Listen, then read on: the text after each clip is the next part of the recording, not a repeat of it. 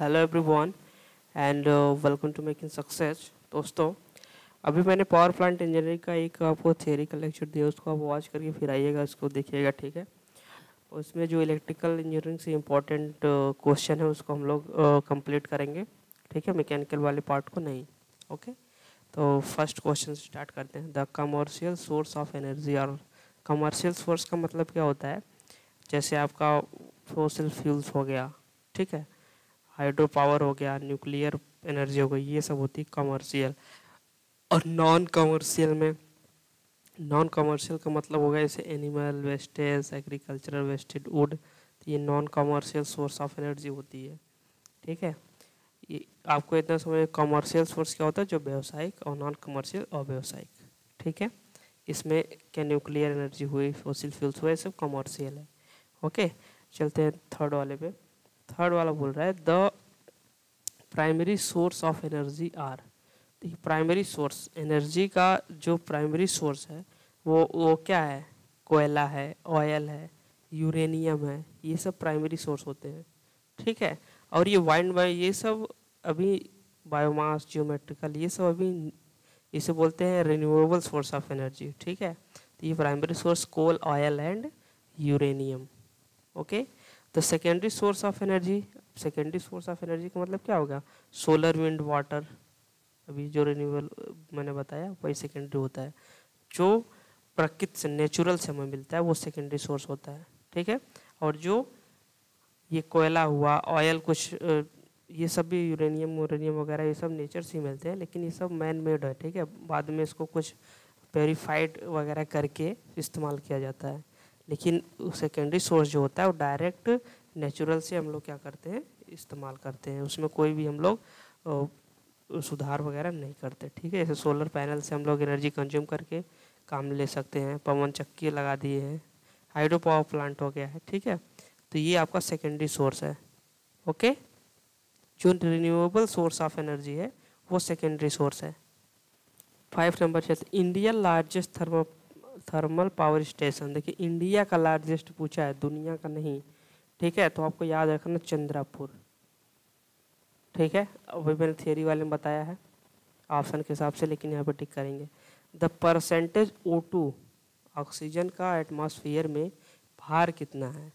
भार पूछा है वैल्यूम नहीं, ठीक है? तो भार आपका तेईस परसेंट होता है, और वैल्यूम जो आपका होता है, भार तेईस percent okay weight weight of oxygen in atmosphere is 23 percent ठीक है?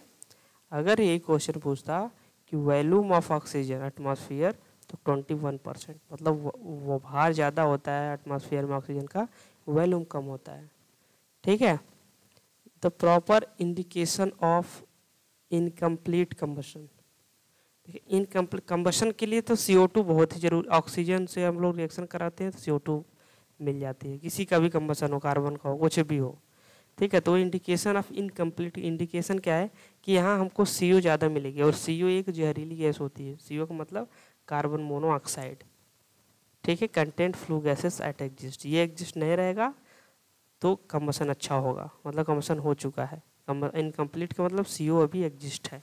CO को सी में कन्वर्ट होना बहुत ज़रूरी होता है, तब कंप्लीट कम्बसन माना जाता है। The main source of production of biogas ठीक है main source of production of biogas biogas का मेन सोर्स ऑफ़ प्रोडक्शन क्या है? तो क्या है? बहुत ही सिंपल है। क्या है बायोगैस का? जैसे ह्यूमन वेस्टेज और ये सब जो दबे हुए वेस्टेज होते हैं, खाद्य पदार्थ दब के नीचे हो जाते हैं, ये सब क्या है? ये सब बायोगैस का ही एक पूरा भंडार है, ठीक है? तो इसे all of the above okay India first nuclear power plant India का पहला न्यूक्लियर पावर प्लांट मैंने बताया तारापुर ठीक? In fuel cell in fuel cell the fuel cell में, ठीक फ्यूल सेल में chemical energy in converted to electrical energy. एकदम सही। सेल क्या, सेल में क्या होता है? केमिकल। कन्वर्ट कैसे करता है? इलेक्ट्रिकल में। केमिकल को कन्वर्ट कर देता है इलेक्ट्रिकल में। ठीक है? Solar thermal power generation can be achieved by.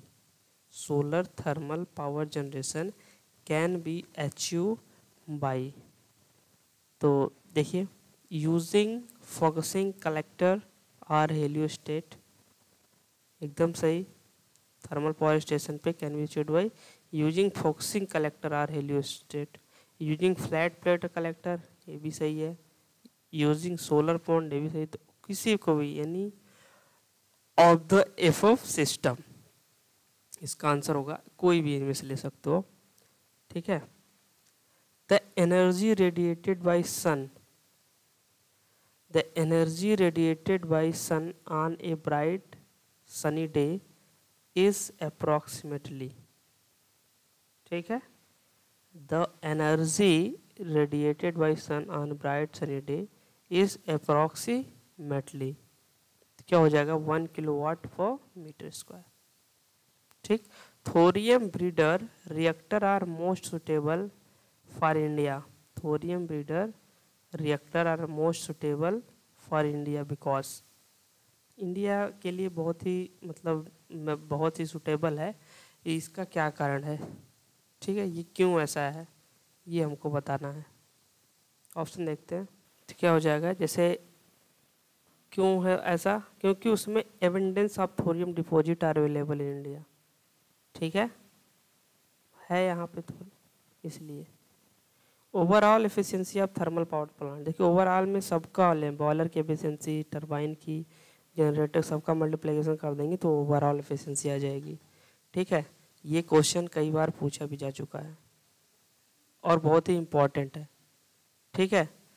Rankine cycle efficiency of a good steam power plant may be in the range of तो rank good steam power plant के लिए इसका रेंज 35 से 45 होता है। अब इसमें आप लोग कोई कंसेप्ट में ढूंढ लेंगे कि सर कंसेप्ट कोई बताइए कुछ नहीं है, इसको आपको याद करना ही पड़ेगा, ठीक है? कोई इसमें कोई मुरवत नहीं है, ठीक है? रैंकिंग साइकिल क्या होती है, आपको अच्छे तरीके से पता ही होगा okay Rankine Rankine efficiency of steam power plant Rankine efficiency of steam power plant तो आपको ये भी पता है कि विंटर में क्या होता है? सुधार होता है इसका, और समर में थोड़ा कम होता है इसका एफिशिएंसी एक होती है करनॉट साइकिल करनॉट साइकिल का आपको पता ही होगा ना। करनॉट साइकिल जो घूम के चारों तरफ़ से आती है, ठीक है? उसको बोलते हैं करनॉट साइकिल आपको पता है वो सब हीट का ही प्रोसेस है, ठीक है? कंपेराइजेस टू उसको कंपेरिजन करना है। तो ये सब चीज़ें बहुत ही बेसिक लेवल की हैं। ये मैकेनिकल का ही पार्ट है एक तरीके से देखिए तो ठीक है? इलेक्ट्रिकल में ऐसा क्वेश्चन कभी नहीं पूछा जाता, ठीक है? इसमें पूछेगा करनॉट साइकिल में कितने कौन सा प्रोसेस होता है। तो टू आइसोट्रॉपिक प्रोसेस होता है, ठीक है एंड टू कांस्टेंट प्रेशर ठीक है टू ये पी हो गया अगर वी हो गया तो आइस दो ठो मतलब दो में प्रेशर कांस्टेंट रहेगा, ऐसे, फिर ऐसे गया, फिर ऐसे आपका रहेगा मतलब कांस्टेंट प्रेशर मतलब ये घूम के एक साइकिल बनाता है कॉर्नॉट साइकिल इसमें टू आइसेंट्रिक प्रेशर होता है और टू कांस्टेंट प्रेशर होता है। In Rankine cycle the work output the turbine is given by क्या हो जाएगा? Change of enthalpy between the inlet and outlet enthalpy क्या होती है? एंथैल्पी मतलब आपको पता ना डेल्टा एच तो ये सब मैकेनिकल का पार्ट है डियर ठीक है? ये सब इलेक्ट्रिकल का पार्ट नहीं है. ठीक? इसलिए हम इसको स्किप करते हैं? थर्टी देखिए. A steam power station require space equal to diesel power station more than diesel power station मतलब स्टीम पावर स्टेशन मतलब स्टीम पावर प्लांट की बात हो रही है ये। ठीक है? अब इसमें आप क्या कर सकते हो? स्टीम पावर प्लांट की बात हो रही है। बोल है कि require space more than the diesel power station से ज़्यादा। मतलब डीजल में क्या होगा? डीजल में एक इंजन है। ठीक है? इंजन का टैंक है, इसमें डीजल है, घुमा दिया इलेक्ट्रिसिटी जनरेट हो गई डीजल पावर स्टेशन लेकिन स्टीम में स्पेस ज़्यादा चाहिए। ठीक है? Economiser is use to heat तो आपको पता है feed water economiser to use feed water मैंने आपका फिगर बता के पूरा थर्मल पावर प्लांट का दिखाया। कि फ्लो गैस जाती है इकोनोमाइजर में, उसमें फ़ीड वाटर होता है, उसको गर्म करती है। इसके बाद एयर प्री हीटर में जाता है। फिर वहाँ से फिर डायरेक्ट बॉयलर में आता है आपका, ठीक है? तो ये, जैसे ये आपका था, ये इकोनोमाइजर था, इसमें फ़ीड वाटर था, यहाँ एयर प्री हीटर था, यहाँ से फिर यहाँ बॉयलर था ठीक है। इसमें आया एयर फ्री हीटर से। ये ये था इकोनोमाइज़र इसमें फ़ीड वाटर होता है और ये वाटर यहाँ से जो है, यहाँ रिजर्वायर में पानी होता है, यहाँ यहाँ से जाता है। ठीक है? तो ये क्या करता है? फ़ीड वाटर को गर्म करता है। ठीक है ना? देखो थर्टी जो मैंने थियरी वाला लेसन दिया है लेक्चर दिया है, उसको आप देखना बहुत इंपॉर्टेंट लेक्चर है, वो कंप्लीट है टोटल तो उसी से ही काम चल जाएगा थर्मल पावर प्लांट में। उससे ज़्यादा कहीं नहीं है। ठीक है तो हम लोग पेड पेड पेड वाला बच्चों के लिए सब बना रहे हैं, ठीक है? The modern steam turbine are the modern steam turbine are तो क्या होता है? इम्पल्स रिएक्शन टर्बाइन होती है। Simple draught which a chimney produce is called वहाँ पे मैंने बताया था कि थर्मा पावर प्लांट में जब एयर प्री हीटर था ये एयर प्री हीटर से निकल के यहाँ पे एक ड्राफ्ट बनाया गया था। ठीक है? यहाँ पे एक चिमनी भी थी। ठीक? तो बोला है कि draught which chimney produces is called इसे क्या बोलते हैं? Natural draught the draught produced by the steel chimney as compare to the produce by brick chimney for the same height ठीक है? हाइट जो है वो सेम है। तो क्या होगा? मोर होगा। ठीक है? Draught produce by steel chimney as compare to that produce by brick chimney for the same height क्या होगा? More dropped produce more in a boiler installation, the drought is produced. Boiler की स्थापना करना है, उसमें ड्राफ्ट इज़ प्रोड्यूस्ड तो ये simple सा फैक्ट होता है due to the fact the pressure at the grate due to the cold column is higher than the pressure at the chimney base due to hot column ठीक है? Drought से ज़्यादा question निर्वात होता है, ठीक है? तो draught produce by chimney of a given height at a given outside temperature option A decreases chimney gas temperature increases no increases if the chimney gas temperature increases एकदम सही। For forced drop system, the function of chimney is mainly for forced drop system the function of chimney is mainly to discharge gases high up in the atmosphere to avoid hazard. Artificial drought is produced by artificial drought is produced by क्या हो जाएगा ये induced fan, forced fan, induced enforcement तो यहाँ पे तो artificial drought is produced by artificial की बात हो रही है ठीक है? तो आप किसी को भी ले सकते हो, केवल अलग अलग अकेले इसका इस्तेमाल कर सकते हो। इसका इन दोनों का भी इस्तेमाल कर सकते हो एक साथ। तो answer D. The draught in a locomotive boiler is produced by. ठीक है, लोकोमोटिव बॉयलर की बात हुई है। तो locomotive boiler is produced by steam jet. ठीक है? For the same draught produce is the power of induced draught fan compare to forced draught fan ठीक है? निर्वात पंखा होता है ठीक है? निर्वात पंखा हिंदी में। तो क्या हो जाएगा आपका? मोर। आर्टिफिशियल डॉस इज़ प्रोड्यूस्ड बाई फिर वही बात आ गई। रिपीटेड क्वेश्चन हो गया ये। Produced by air fan steam jet fan steam jet किसमें? अभी ऊपर मैंने बताया स्टीम जेट किसमें इस्तेमाल होता है? लोकोमोटिव में। स्टीम जेट किसमें इस्तेमाल हुआ लोकोमोटिव पे ड्राफ्ट प्रोड्यूस करने में। The artificial dot normally is design to produce artificial dot को नॉर्मली हम डिज़ाइन और प्रोड्यूस करते हैं, कैसे प्रोड्यूस करते हैं? लेस स्मोक मोर drop less chimney gas temperature तो all of the above. For the induced drop the fan is located. For the induced drop fan is located near the, near bottom of chimney. The pressure at the furnace is minimum. The pressure at the furnace the minimum in case of ठीक है? Minimum in case of balance draught system the efficiency of chimney is approximately efficiency of chimney is approximately point two five percent अब इसमें कुछ नहीं करना है, ठीक है? चिमनी का पॉइंट टू फाइव परसेंट होता है। ये सब देखिए पी वी पावर वन पर ये सब आपका क्या है? मैकेनिकल का पार्ट है। तो इसमें कुछ भी नहीं करना हम लोगों को। ठीक है? इसकी गारंटी मैं लेता हूँ, इधर से क्वेश्चन कभी ना पूछा गया, ना कभी आएगा। क्योंकि ये मैकेनिकल का पार्ट है। ठीक है? मैं जो जितना बता रहा हूँ, उतना ही आप करके जाइए। अब देखिए eighty two in steam power plant the function of a condenser steam power plant में जो कंडेंसर का फ़ंक्शन होता है, क्या होता है? To maintain pressure below atmospheric to increase work output from the prime mover सही है? To receive large volume of steam exhausted from the steam prime mover to condense large volumes of steam to water which may be use again in boiler तो option ये सभी सही है। ठीक है? In generative regenerative surface condenser regenerative regenerative surface condenser क्या होता है? Three or two pumps to remove air and condensate evaporative type of condenser has evaporative type of condenser steam in pipe surrounded by water okay steam in pipe surrounded by water condenser efficiency आपने बहुत electrical engineering पढ़ा, कहीं पे मिला होगा condenser efficiency ठीक है? तो ये सब थोड़ा एक्स्ट्रा क्वेश्चन आपको लिए पड़ जा रहा है, लेकिन बता दे रहे हैं।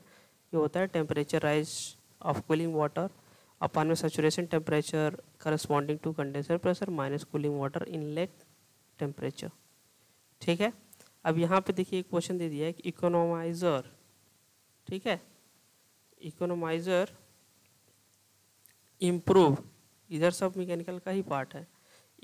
अब देखो load centre is power station power station का जो लोड सेंटर होता है 93 देखिएगा तो उसमें कौन सा होता है? Centre of gravity of electrical system ठीक है? Steam pressure in a power station which usually kept nowadays of the order of किस ऑर्डर का होता है? ठीक है? किस ऑर्डर का होता है आपका? 150 okay economiser improve boiler efficiency boiler की एफिशिएंसी को अगर इम्प्रूव करना चाहते हो तो इसको इम्प्रूव करने के लिए हम फोर टू टेन परसेंट ये इम्प्रूव कर सकता है। ठीक है?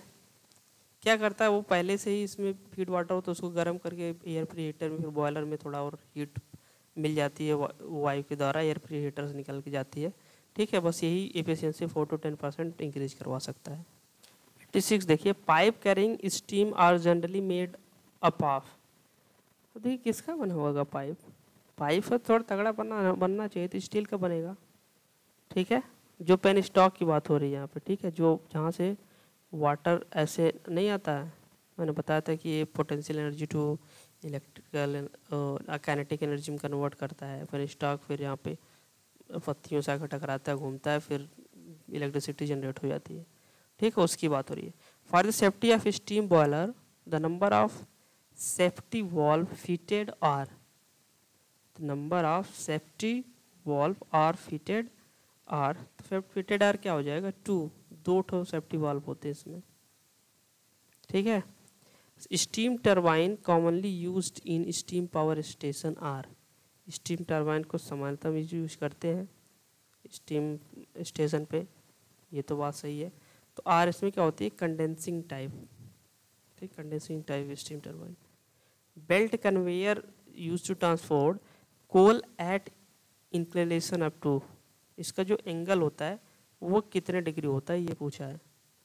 ठीक है एंगल तो एंगल आपका होता है थर्टी डिग्री ठीक? The maximum length of screw conveyor एक बेल्ट कन्वेयर होता है, ठीक है? The maximum length of screw conveyor, कितना हो जाएगा? स्क्यू कन्वेयर का मैक्सिमम लेंथ जो होता है आपका, वो आपका होता है thirty metre. Efficiency of modern boiler using coal and heat recovery.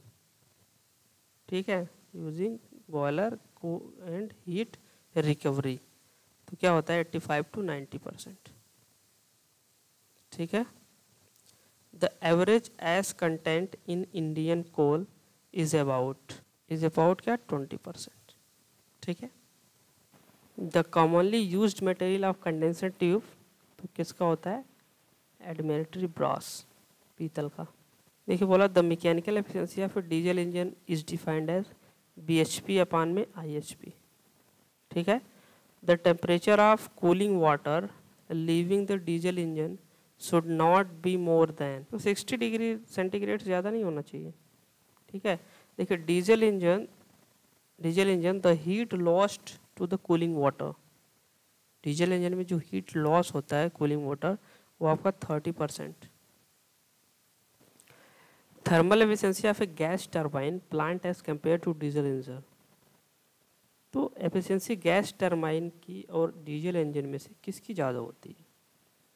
तो आपको क्या होता है? Lower efficiency of gas turbine as compare diesel engine lower मतलब गैस टर्बाइन की एफिशिएंसी कम होती है। Mechanical efficiency of a gas turbine as compare to internal combustion reciprocating engine ठीक है? इंटरनल रेसिप्रोकेटिंग इंजन तो हायर गैस टर्बाइन की होती है। For gas turbine the pressure ratio में be in the range of pressure का जो ratio होता है, वो किस रेंज में होता है, वो आपको होता है three two five in gas turbine high thermal efficiency is often high thermal thermal efficiency कहाँ से मिलती है? कहाँ से मिलती है ये? Close cycles in gas turbine plant is generator increases plant is generated increases तो क्या हो जाएगा? Thermal efficiency okay location of surge tank in hydro ठीक है? आपको ध्यान देना है कि हाइड्रो इलेक्ट्रिक स्टेशन में जो सर्ज टैंक का लोकेशन होता है, वो किसके नियर होता है? किसके पास में होता है? सर्ज टैंक मैंने बताया था ना, यहाँ पे ऐसे रिजर्वायर था, ऐसे निकाल गए थे, इसमें से दो निकाल, निकलवाए थे। ठीक है, इसमें से ऐसे ऊपर निकल के गया था। ठीक है? इसी को सर्ज टैंक हमने बोला था। ठीक? इधर पंप वगैरह था, यहाँ से पेन स्टॉक निकाले थे। यहाँ पे पावर हाउस था। ठीक है, यहाँ वाटर था, फिर यहाँ रिजर्वायर ये रिजर्वायर था, यहाँ रिवर थी।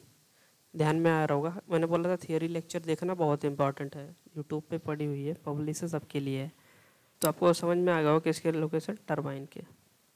Surge tank in a hydro electric station in near to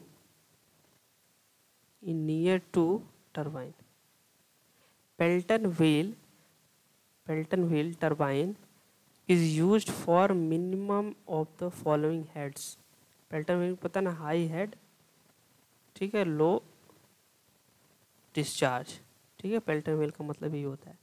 तो इसका हो जाएगा आपका 180 मीटर और above running cost of a hydro power plant तो रनिंग कॉस्ट मतलब जो होता है फ्यूल कॉस्ट फ्यूल कॉस्ट इसमें क्या होता है? Less than the running cost of steam power plant water का बहुत ज़्यादा होता नहीं है, ठीक है? Francis turbine is usually use for Francis और रिएक्शन मैंने बोला थियरी लेक्चर देखना बहुत ही इंपॉर्टेंट है। वहाँ से आपको सारे आंसर की जगह मिल जाएगी, ठीक है? तो medium head in the velocity of hydro power plant the velocity of water in penstock is about जो पेन स्टॉक में वाटर की वेलोसिटी होती है, वो किसके अबाउट होती है, किसके रेंज में होती है? तो आपका seven metre per second. Pelton turbine is suitable for high head and Pelton turbine is suitable for high head and low discharge in reaction turbine function of the draft tube क्या हो जाएगा वो? To convert the kinetic energy of water to potential energy तो आपको पता ही था। Francis turbine is usually used for, देखिए एक फ्रांसिस होता है, एक कपलन होता है। दोनों को मैंने थियरी में बहुत ही डिटेल में बहुत ही अच्छे तरीके से बताया है, ठीक है? तो इसका हो जाएगा medium head and installation from thirty to one eighty metre the conversion ratio of a breeder reaction is more than unity ठीक है? कोई problem in the nuclear fission reaction isotope of uranium uranium 235 या 233 ले सकते हो। Option D, इसमें तो miss miss हो गया ऑप्शन डी। ठीक है? तो दो सौ तैंतीस, थोरियम दो सौ बानवे, ठीक है? दो का यूज़ इस्तेमाल होता है। तारापुर न्यूक्लियर पावर प्लांट है जो तारापुर का न्यूक्लियर पावर प्लांट है, उसके पास है। क्या है उसके पास? Boiling water reactor. ठीक है? Nuclear, critical mass of fuel in the amount required to make the multiplication factor equal to one the nuclear energy is measured nuclear energy को आप किसमें मापते हो? तो वो होता है million electron volt not megawatt ध्यान दीजिएगा। Fission chain reaction is possible when fission का मतलब क्या होता है? संलयन ठीक है? वो चेन रिएक्शन जो होता है न्यूक्लियर पावर प्लांट में यही होता है फिशन ही होता है। और ये कहाँ पे आपका पॉसिबल है? वो आपका है fission is produced electron then और एब्जॉर्ब्ड ठीक है? Nuclear chain fission reaction each neutron which causes fission produces ठीक है? प्रोड्यूसेस क्या? More than one new electron ठीक है? Is the most common use moderator के लिए क्या हम लोग ग्रेफाइट होता था डी टू ओ सारा हमने न्यूक्लियर पॉम प्लांट जब थियरी में बताया कि कैसे कैसे क्या होता है, उससे आप डायरेक्ट इस्तेमाल कंट्रोलर में कैडमियम आ गया था। ठीक है बोरान कैडमियम और मॉडरेटर में ग्रेफाइट हो गया भारी चल हो गया, ये सब होता है। ड्यूटीरियम भी दिया है यहाँ पे, ठीक है, लेकिन यहाँ पे graphite which are the following the fertile material अब फेराइट मटेरियल क्या हो? दो सौ अड़तीस थोरियम दो सौ बत्तीस। Nuclear reactor the function of a reflector reflector का फ़ंक्शन क्या होता है? क्या होता है reflect the escaping neutron back into the core तो ये सब ए लोड कर्व इंडिकेट बताया था मैंने लोड कर्व बता करके, कि आपका ये टाइम हो गया, ये पावर हो गया, ऐसे करके लोड का मैंने बनाया था। चार आठ ऐसे लिखा था कि हर समय पे जो विद्युत की मांग है, खपत है, वो बढ़ती घटती रहती है। उसी को बीच में जो गर्व गर्व खींचते हैं उसे हम लोड कर्व कहते हैं। एरिया इसका पी इंटू टी मतलब वर्क सारा मैंने थियरी में बता रखा है, ठीक है? तो यहाँ पे हम लोग क्या करेंगे? टू फोर्टी फोर का बी ठीक है? किलोवाट घंटा ले सकते हो, अगर पावर किलोवाट में है तो किलोवाट घंटा मेगावाट में तो मेगावाट घंटा एनर्जी तो हमको देखना है, ठीक है? The function of the moderator in a nuclear reactor अब जो मॉडरेटर का फ़ंक्शन है न्यूक्लियर रिएक्टर में, ठीक है? क्या है? फ़ंक्शन फ़ंक्शन तो आपका क्या reduce the speed of neutron ठीक है? Reduce the speed of neutron fission of 235 मतलब यूरेनियम 235 रिलीजियस एनर्जी यूरेनियम 235 का जब आप फिशन कराओगे तो कितनी एनर्जी ये रिलीज़ करता है? 200 मिलियन इलेक्ट्रॉन वोल्ट ठीक है? देखिए in which are the following power plant the availability of power is least reliable मतलब कम विश्वसनीय, वो वाइंड एनर्जी होती है। बल्ब टरबाइन आर ठीक है? बल्ब टरबाइन आर क्या होता है ये? Low head bulb turbine are low head turbine the voltage of single solar cell single solar cell का जो वोल्टेज होता है, वो आपका 0.5 वोल्ट होता है। The output of solar cell is the order of solar cell का जो आउटपुट होता है is the order of one watt solar cell for power generation entail the following major disadvantage solar cell of power generation entail the following major disadvantage ठीक है power generation में जो सबसे ज़्यादा डिसएडवांटेज है, वो हमको बताना है। वो सबसे ज़्यादा क्या हाई कॉस्ट होता है। Reflecting mirror used for exploiting solar energy are called are called heliostat repeated question है. बायोगैस कंसिस्ट ऑफ़ बायोगैस क्या होता है? एक तो ऑर्गेनिक गैस है जो आपको बहुत सारे के मटेरियल मिल जाते हैं. या आपका मीथेन हो गया सी ओ टू विद ये हो गया आपका मीथेन मतलब सी एच फोर होता है इसमें सी ओ टू भी होता है विद द सम इम्प्योरिटीज ठीक है? For the satellite the source of energy is जो सेटेलाइट है, उसका सोर्स ऑफ़ एनर्जी कहाँ से मिलती है? तो सोलर सेल से मिलती है। ठीक है? क्योंकि सेटेलाइट में सोलर सेल लगाना बहुत ज़रूरी है भाई। एनर्जी कहाँ से आप लेकर आओगे क्योंकि उसमें बहुत सारे इक्विपमेंट लगाते हैं कैमरा वगैरह सब कैसे चलेगा? ठीक है? ऑर्बिट में घूमने के लिए तो ठीक है ग्रेविटेशन चाहिए। लेकिन जो हमारे सिस्टम उसमें रहते हैं, उसके जैसे हमको सूचना भेजते हैं, जानकारी देते हैं, उनके लिए तो चाहिए ना कुछ ना कुछ एनर्जी तो वो सोलर सेल से हमको मिलती है। ठीक है? तो डियर देखो, इसमें आप लोग बहुत ज़्यादा परेशान मत होइएगा होइएगा कि सर ने छोड़ छोड़ के स्किप करके। मैं ऐसा व्यक्ति हूँ कि स्किप करता ही नहीं हूँ, पहली बात ये। स्किप इसलिए किया कि वो इम्पोर्टेंट नहीं है मतलब बिना मतलब के टाइम बर्बाद करना। खुद का तो चलो ठीक है, हम पूरा पढ़ा देंगे, लेकिन आपका भी बर्बाद करना वो बिना मतलब के। ठीक है, जितना मैंने दो वीडियो बनाए, उतना आपके लिए सफिशियंट है। ठीक है?